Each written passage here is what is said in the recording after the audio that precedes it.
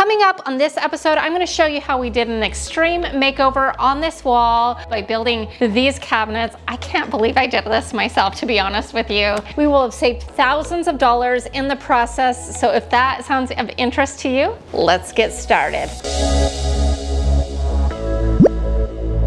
You know, if you've been watching my channel for a while, that I really, really wanted a fireplace for Christmas. So a couple of months ago, I built this fireplace from the ground up, essentially, but now I want to do built-ins on either side. I got some stock cabinetry from my home improvement store. We're gonna install that. But first, before we can do that, we need to reinstall the tile on the floor. Now, when I built this fireplace, I kind of went gung-ho and and ripped out all of the tile because I didn't really know exactly what I was gonna do. But I figured if I was going to be making a mess, that I should just rip it all out at that time and not destroy my beautiful fireplace once it was done. So even though I went a little overkill on ripping out all of the tiles, I needed to rip out tile anyways. And so even though I ripped out a few extra and we're gonna now have to replace those, it's not really that big of a deal.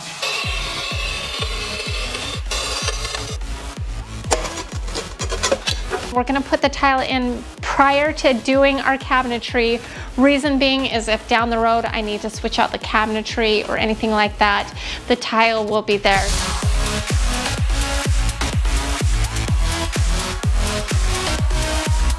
So I have bought some stock cabinetry that we're gonna be putting in here as our lower cabinets. These are actually upper cabinets, but we are gonna convert them into lower cabinets. The reason I didn't do lower cabinets is because then they would have come out almost flush with our fireplace, and I wanted it to be a little staggered. So we're gonna need to do something to lift them off the floor, and then we'll put a topper on. I bought this plug-in light fixture. It just plugs in, and I actually have a plug right here that I can plug it into, but we're gonna make it have the appearance of being hardwired into the wall and you'll never know that it wasn't. Stick with me and I'll show you how we're gonna be doing that because I'm really excited about this and I'm really excited for the ability to bring in that additional lighting that I so desperately want in this living room space.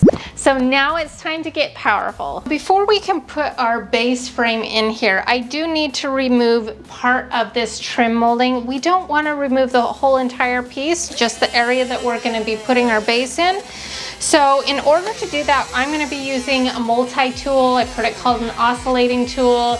It's just basically a little hand saw that we can just kind of come in and cut that through and remove our trim. Now we're gonna build the frame and I've got some just regular two by fours. We need it to be 15 inches deep and 59 and 1 8 inch wide. This is just straight cuts at its finest. And so we'll just measure and make a bunch of cuts and then we'll go inside and use our nail gun to put it all together. So now we've made our cuts and we are ready to start assembling our base. We are gonna be using my big nail gun. This is a framing nailer. It's a serious nail gun. If you're intimidated by this, then go ahead and use a drill and some screws. I like my nail guns and nails are typically stronger than screws. So I've already got my air compressor full of air. So all we need to do is attach it. Before I wanna attach it, I'm gonna put on my eye protection. And it is loud, so if you wanna wear ear protection too, feel free to do that. So all we do is we pull this back, put that on, and it pressurizes, and now we've got a powered nail gun. So we are just gonna build this frame out.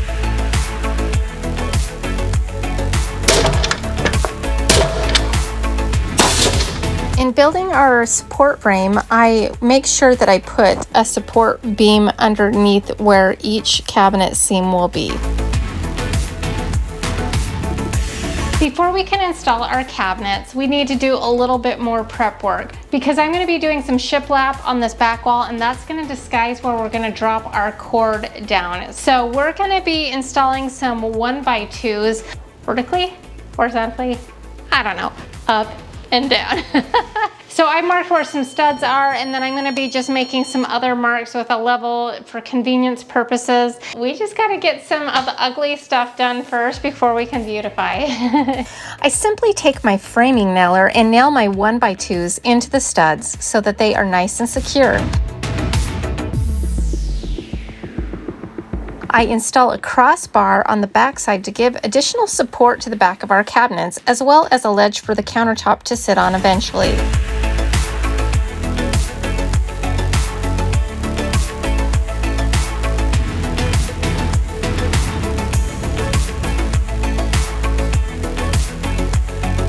Then I install another stud right behind where our filler pieces will go just to act as an additional brace behind that as well. Okay, so we've got this all prepped and ready for our cabinets. So I'm gonna go ahead and slide them into place now and then we are gonna start assembling. Okay, so we've got these kind of dry fit in here. We have not attached it to anything, and I actually had to let this sit for a couple of days, but I wrote myself a note to remind myself to cut out the outlets before I attach these. So I really didn't want to mess that up. Because I have this kind of lined up where I already want it, I've just made some marks for convenience purposes, so when we put it back in, we know exactly where we already marked it because we have it kind of how we want it and we're about to mess that up. so we're gonna pull this out and we're gonna cut an outlet hole in our cabinet so that we can access the plugs and everything like that. I didn't really want to mess with electrical so we're going to just leave the plug where it's at and just kind of frame out a box around it. So we're going to use a drill and a jigsaw for this one just so we can get it nice and precise.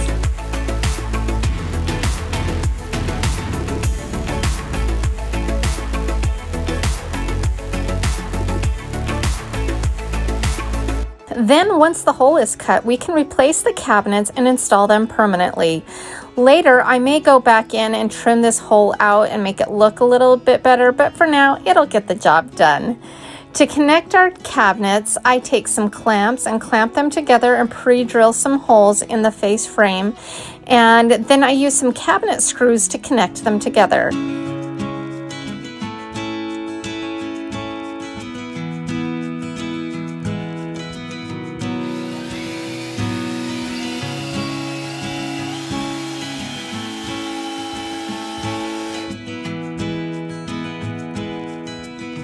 Then I check the cabinets for level and then screw them into our back support frame.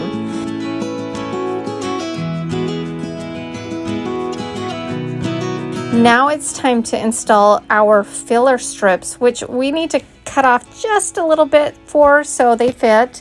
And for this, I used a jigsaw and I also applied painter's tape to protect the filler strip as I cut it. Then I installed it the same way I attached the two cabinets together.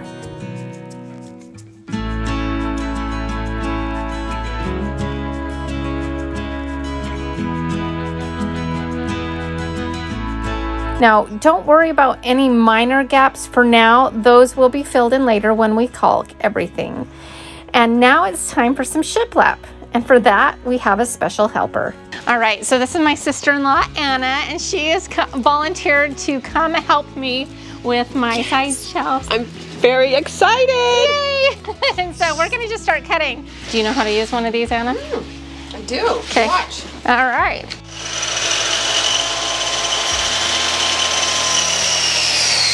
Okay, so she's gonna just take the one we just cut and she's gonna use it as a pattern and you can just use it to mark all of them so they're all even. So she's doing a great job. One down, how many more to go? a bazillion. she's a pro. Now with our shiplap cut, we are ready to install and I just start at the top and make sure it's lined up with what's going on on the fireplace and nail it right into place right on top of our strips.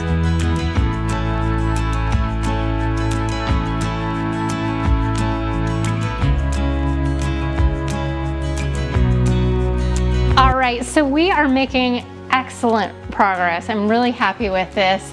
We've got all of our shiplap up on both sides and now we need to drill a hole for our light fixture because we are gonna drop the cord down behind this shiplap and in order to do that we need a pretty sizable hole. So I've got this hole saw attached to my drill and it's two and a half inches which is enough room to get that plug down. We've got it marked how we want, where it's located. It should be center and we are gonna just drill a hole with this and it's gonna be awesome. Next, we are going to install our countertop. First, I take some 1x2s to build a frame so that it's a little bit taller and nail that down into the top of the cabinets using some shims to make sure everything is nice and level. Then I take a couple of 16 inch deep plywood shelves and then I just cut those down to fit the width and slide them on top of our frame and nail that down into place.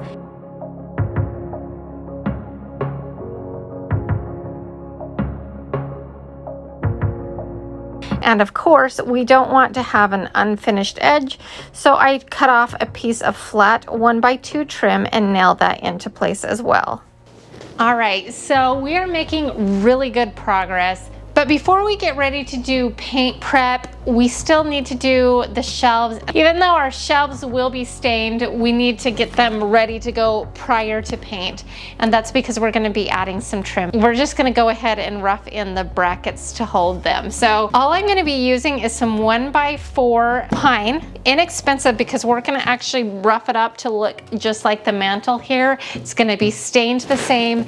And I've already kind of marked out where I want the shelves. So every, I think it's like one, two, three, four, five, and then one, two, three, four, five. And those are gonna be our two shelves. The most important thing is, is we really do want it to be level. We're gonna kind of mark where this shelf is gonna sit and I'll show you why. So then I'm gonna take a pencil that I always keep tucked in my hair and we're gonna draw a line where the top of this is gonna sit.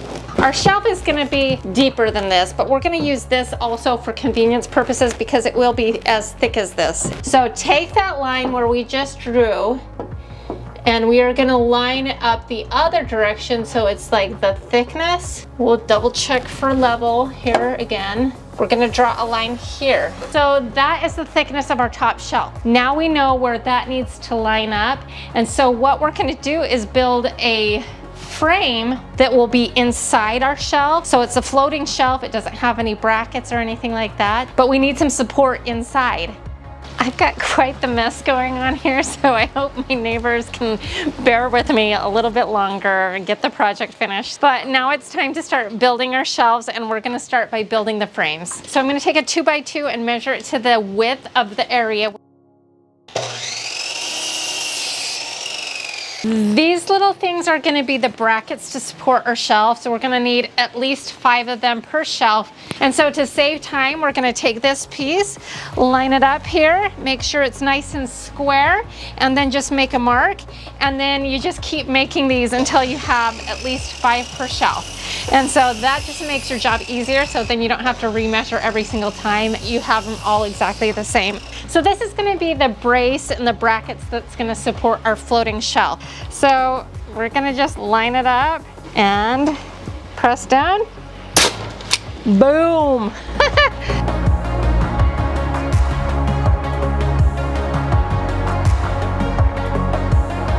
So now I'm gonna show you how I'm gonna assemble this shelf. This is kind of like the boring or structural part, but once it's assembled, then we can beat it and scratch it and make it look really old, and that's the fun part. All right, so we're gonna take our wood glue and run a bead on one side. And then we will take our front piece, kind of line it up. We're gonna start on this edge and we're gonna put some finish nails. Okay, I should probably put on my, always protect the eyes. Okay, we'll do that again. we're gonna just kind of run down as we go and make sure that it's, it's, flush. A lot of times these boards aren't completely even and that'll all work out in the end. But if you run this way, then you can kind of bend it a little bit as you go. Just always checking. Right here, we need to push it out a little bit. Perfect. Then we're gonna repeat the process on this other side.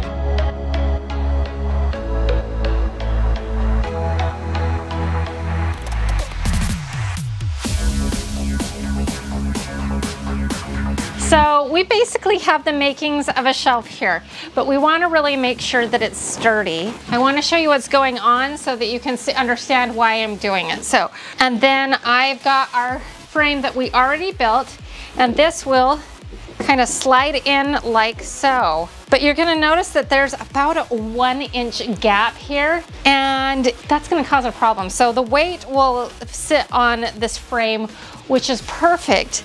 But we don't want this hanging on just a couple of finishing nails. We want it to be more sturdy than that because I have some little boys that might like to climb. I'm not saying I want them to, but they might. What we're gonna do to solve that is I've cut some blocks that we're gonna just put in here. We're gonna slide them inside here to act as a brace. And we're gonna put about four of them in. You could put five. And you could put some in the front, in the back, but I'm just gonna put them towards the back here. Then it will make this a lot more sturdy. And that's what we want. So, so I basically have them where I want. I'm gonna carefully slide this out and just kind of set it aside.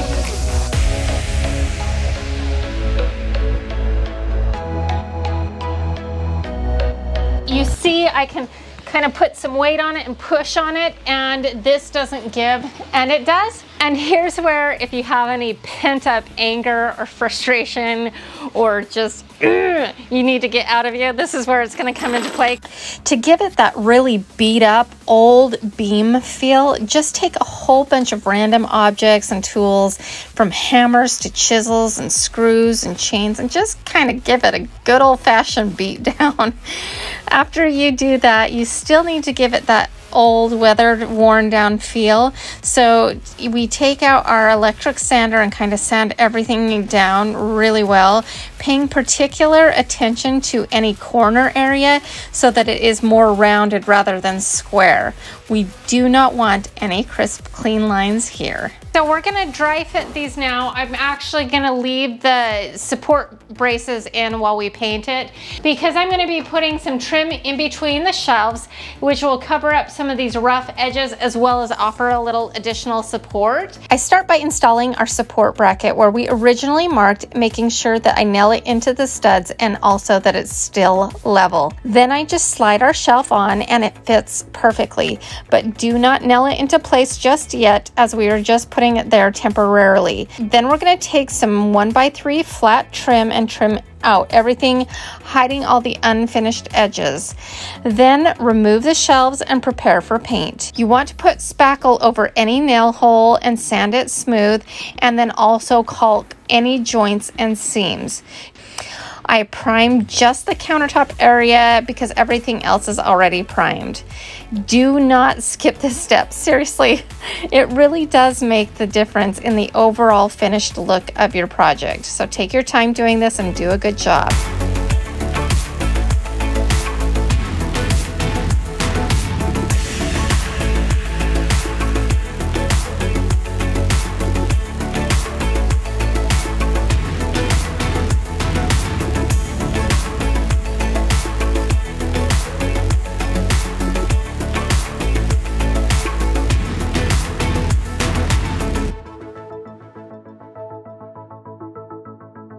I use my paint sprayer to have a very nice even coat and paint it in Sherwin-Williams extra white color in a semi-gloss finish.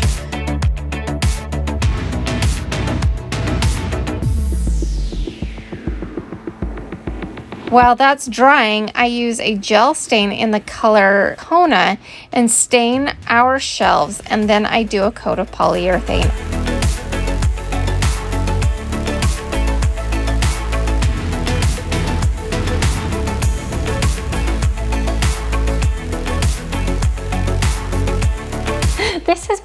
The project that will never end. And that's probably because it's just a busy time of year right now.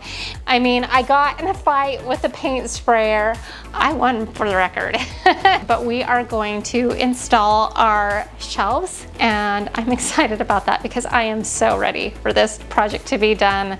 I need a shower. I need, I need some chocolate. I don't know. Now once the shelves are dry, I slide on the shelves and put multiple finish nails in every area that we had one of those bracket arm pieces. You'll be surprised how well the nail holes are hidden because of all the nicks and dings that we intentionally put there to make it look old.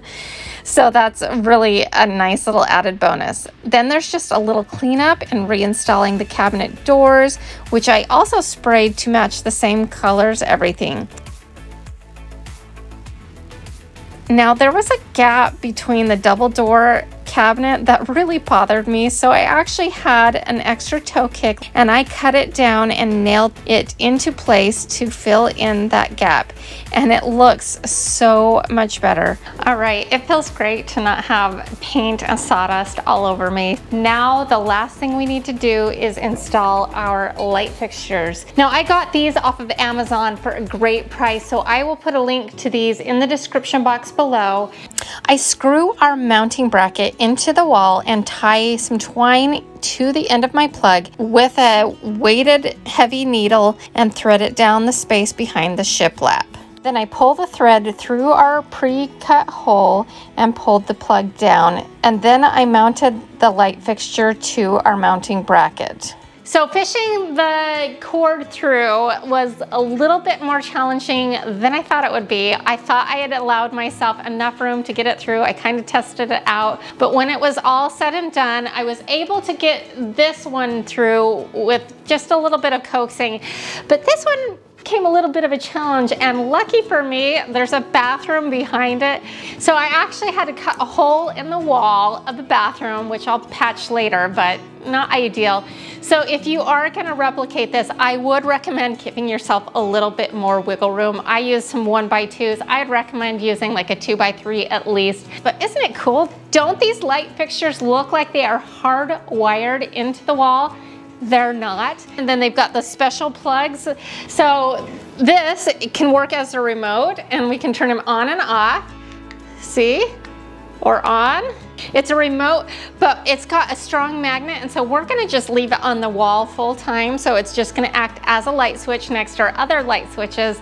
And we did not have to hire an electrician to do this. That was a lot of work, but it was a lot of fun and so rewarding. Now, I just wanna emphasize that I am not like a finished carpenter by any means. I cannot believe that we built these, to be honest with you, and I'm thrilled.